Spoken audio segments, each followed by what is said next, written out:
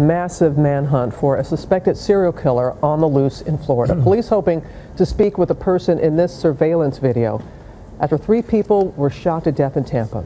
ABC's Victor Oquendo is there. And Victor, it's understandable that the community is on edge this morning. Good morning.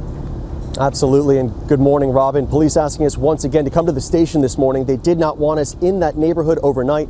Tampa's mayor doing what he can to reassure the public, saying that they've added a thousand streetlights to the Seminole Heights neighborhood and that they won't stop until that killer is caught. We will hunt this son of a down until we find him. Overnight, Tampa police on the hunt for a killer after the shooting deaths of three people in 10 days. Nobody comes into our house and does this. Not now, not ever. Authorities poring over this grainy surveillance video for clues, looking at this person of interest walking alone wearing a hood on the night of the first killing, not releasing much information about evidence, but insisting the killings are connected and asking the community for help. What we need you to do is pay attention to what's going on in your neighborhood. Everybody at this point is a suspect. If you're out there walking alone, that you're either a suspect or a potential victim. The three victims gunned down less than half a mile apart. Two, Benjamin Mitchell and Anthony Naiboa, killed near bus stops. The third victim, Monica Hoffa, was walking to a friend's home, her body discovered in an empty lot. America's Most Wanted host John Walsh spent 25 years chasing down fugitives. He's caught 1,400 and knows firsthand what it takes to apprehend a suspect. We always so- solve these things when the public gets involved. Walsh says he sees similarities between these shootings to the D.C. sniper shootings. John Allen Muhammad and Lee Boyd Malvo killing 10 people and critically wounding three others in a three week period. Why this killer reminds me of the Beltway sniper and the DC serial killer is that it seems to be a person who comes out at night to kill. It's someone who is killing for the thrill of it.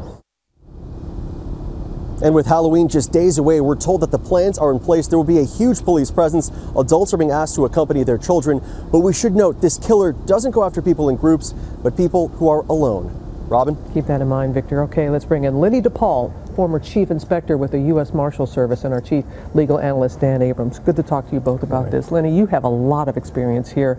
Of course, you were involved in the manhunt and the D.C. sniper. So, what are investigators in Tampa looking, focusing on right now? Well, right now, Robin, it's a pretty chaotic scene, as you can imagine. I mean, there's been three uh, three people that have been killed in the past two weeks. Um, they're, they're knocking on doors, Q&Aing people. It's all about collection, bringing in that human intelligence, signal intelligence, looking at CCTV, if there's any videos on mm. the block, uh, surveillance cameras in people's homes and whatnot.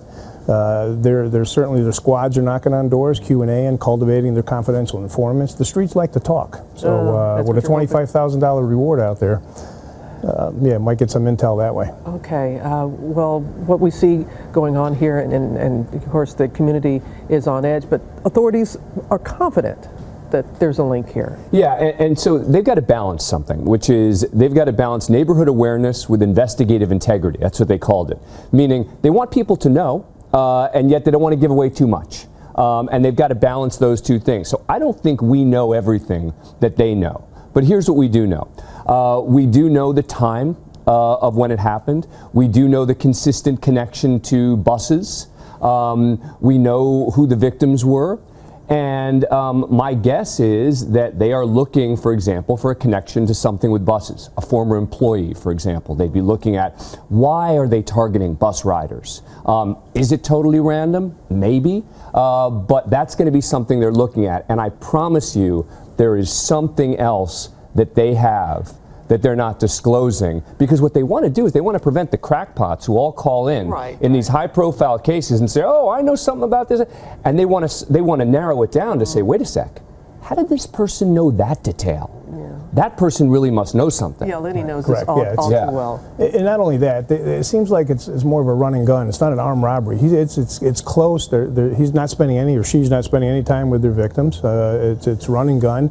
Um, what's that all about? They're being ambushed. Is this person on the bus? Is he following them? Um, you know, it's, it's the million dollar questions right now. Hopefully, law enforcement is all over this uh, and, and has the answers uh, to these questions. But uh, right now, they're chasing a ghost. And that video that they have is critical. I mean, you know, we, have seen the surveillance video. We don't know that this person's connected, right?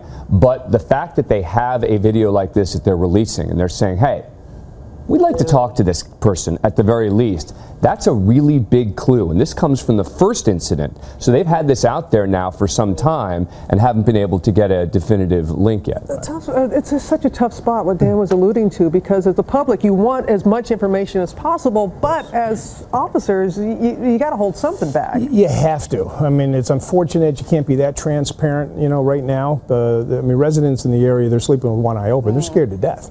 Uh, keep your lights on, keep your dog out, out back, whatever. If you see something, say something, obviously. Uh, but they can't get too much out there because they don't, you know, it's a juggling act right now. They're trying to put that puzzle together, connect the dots, and they don't want any interference, if you will, uh, at this point. Hopefully, they'll be able to connect those dots really soon. All right, Lenny, Dan, thanks so much.